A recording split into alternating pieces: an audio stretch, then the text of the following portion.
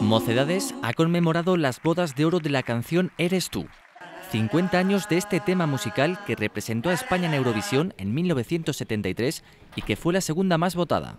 Con motivo del 50 aniversario de Eres tú, el grupo lanzó el pasado viernes una nueva versión junto a Plácido Domingo con arreglos de Jacobo Calderón.